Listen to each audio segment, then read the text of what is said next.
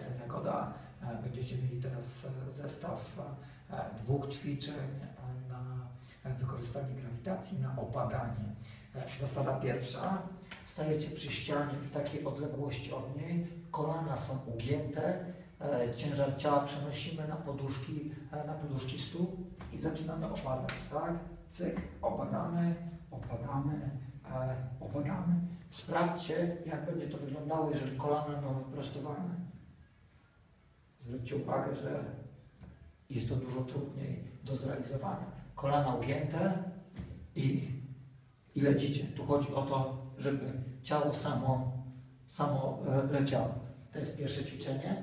Drugie ćwiczenie robimy to samo, tylko przy idealnej naszej pozycji. Kolano ugięte, drugie, kostka jest na wysokości kolana i robimy to samo. Hop, hop, hop, hop.